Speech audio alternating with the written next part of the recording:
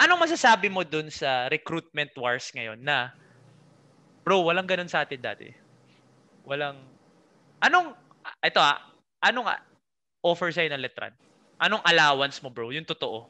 Kasi iba ngayon eh. Alam mo yan eh.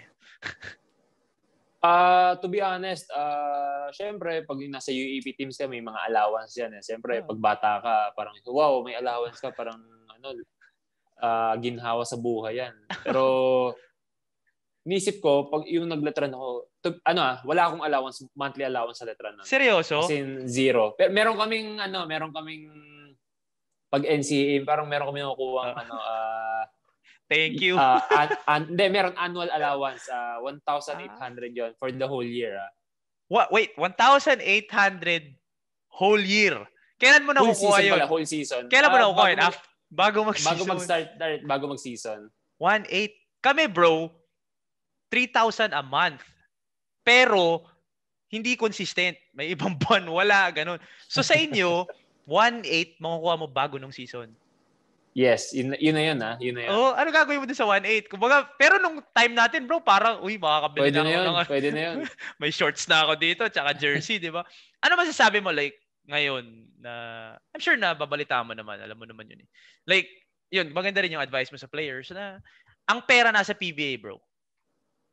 Like, alam mo, uh, wala ka doon. Ang pera talaga nasa PBA siguro ano na yan eh, uh, reality ng sa panahon ngayon eh na talagang pwede na kumita eh, no? Oh, lahat ng schools talagang offering a lot of money or a lot of uh, opportunities for everyone. So siguro sige, yes, uh, tanggapin mo 'yan. But at isipin mo rin muna siguro number one yung parang opportunity mo, playing time mo, parang isipin mo dapat yung bigger picture na parang makakapag PBA ba ako dito? Makakapag-national team ba ako dito? Kung kumaga isipin mo yung long-term goal mo eh. Kasi syempre, ano ba, bakit ka ba naglalaro? Ano bang ano mo? Makapag-PBA ba?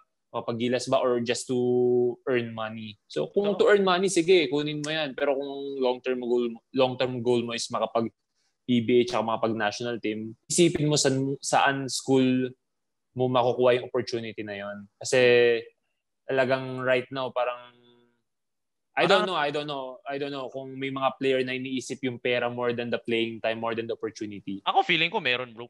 Sigurado yan. Kasi nakakabulag hmm. na ngayon eh. Dati hindi naman nakakasilaw eh. Dati parang, ngayon nakakasilaw na eh.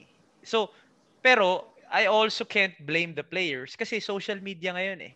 Imagine mo kung dati may social media tayo, edi exposed din tayo, meron ding brands na, na bro, hindi ko nga alam kung ano nakukuha sa atin ng mga brands. Kunyari, pag sponsoran ka ng Nike, wala ka namang Instagram.